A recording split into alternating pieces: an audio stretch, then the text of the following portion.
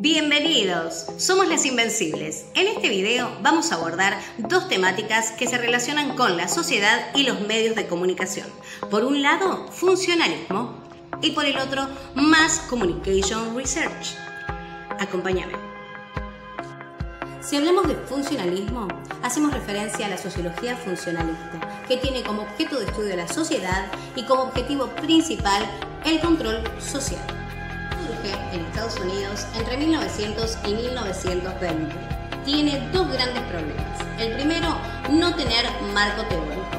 Toma de distintas teorías y ciencias, como por ejemplo el conductismo, que tiene como objeto de estudio los estímulos externos de los sujetos a través de un esquema mecánico estímulo-respuesta también de otras ciencias como por ejemplo la filosofía y el pragmatismo, también la economía que es de utilidad y por último la más importante, la biología, que a través de su organicismo, que viene de organismo, se desprende la teoría del equilibrio, que dice que la sociedad es igual a un organismo viviente. El segundo problema es la diversidad, que abarca etnias, lenguajes y religiones.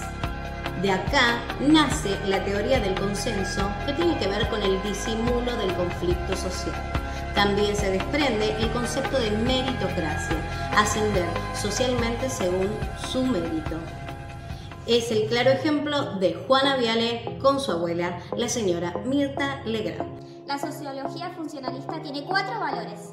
La repetición, si se repite constantemente, no hay aprendizaje significativo. Social oculta el conflicto. Esto tiene que ver con dos conceptos. El primero, el conflicto, y el segundo, el equilibrio. La cuantificación es la manera de juntar toda la información de la sociedad. Esto se mide a través de encuestas, censos y la tele, a través del rating. Todo se mide. La uniformidad surge de la teoría del consenso. Esto es para ocultar las realidades sociales. Mass Communication Research investiga la comunicación masiva, que deriva en tres teorías que estudian los medios de comunicación. La teoría de la aguja hipodérmica tiene que ver con un esquema mecánico de estímulo-respuesta. Esto surge en 1920, donde el receptor es influenciable y manipulable. El emisor tiene todo el control y el poder absoluto.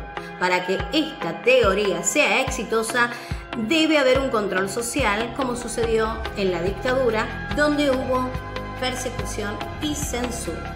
Para el funcionalismo, el control social lo mantienen los medios de comunicación. Por otro lado, tenemos la teoría de los efectos, donde tiene que haber una persona líder que esté en los medios, que sea influyente en la sociedad, que sea carismático y que toda esa sociedad apoye sus ideas. Tenemos personajes tales como Babi Echecopar, como Navarro, Jorge Lanata o Víctor Hugo Morales. Por último, la teoría de usos y gratificaciones será en el próximo video.